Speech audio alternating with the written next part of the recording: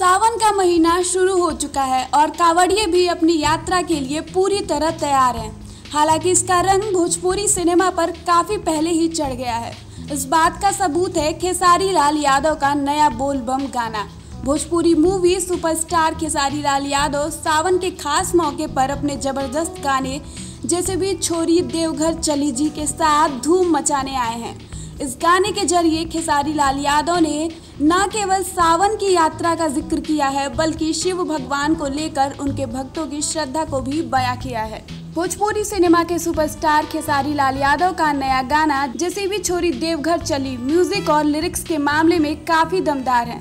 इस गाने के लिरिक्स जहाँ पवन पांडे ने लिखे हैं तो वहीं इसका म्यूज़िक शंकर सिंह ने तैयार किया है।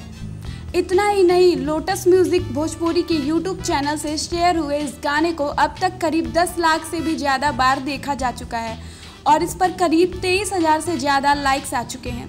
खेसारी लाल यादव का ये गाना कांवड़ यात्रा में धूम मचाने के साथ ही किसी को भी नाचने पर मजबूर कर सकता है। सावन का महीना हो और भोजपुरी सुपरस्टार खेसारी लाल यादव का कोई गाना ना लेकर आए ऐसा नहीं हो सकता। इस गाने से पहले खेसारी लाल यादव ने जलवा शिवलिंग पे चढ़ेगा, से भी खूब धूम मचाई। उनके इस गाने में भोजपुरी सिंगर प्रियंका मौर्य ने भी उनका खूब साथ दिया। इसके साथ ही इस गाने को करीब तेरह हज़ार से भी ज़्यादा बार देखा जा चुका था। फिल्मी अड्डा से शिवांगी शुक्ला की रिपोर्ट।